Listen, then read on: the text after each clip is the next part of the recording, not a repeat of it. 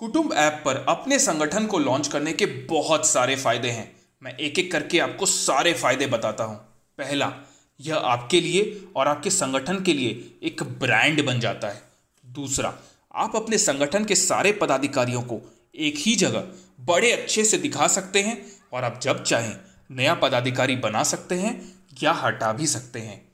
तीसरा, आप अपने संगठन का एक बड़े स्तर पे सदस्यता अभियान चला सकते हैं और आपके संगठन से जुड़े हर सदस्य का एक डिजिटल आई कार्ड तैयार हो जाता है।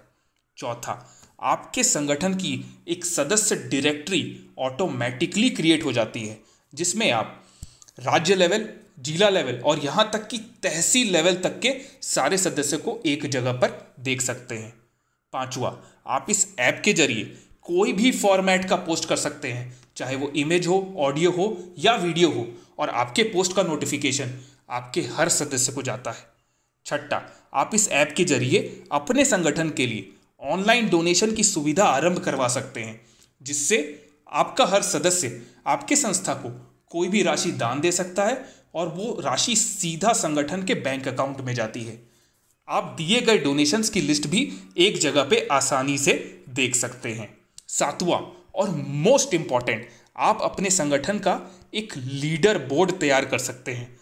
और यह लीडर बोर्ड से आपके सदस्य की एक्टिविटी एकदम से दस गुना बढ़ जाती है।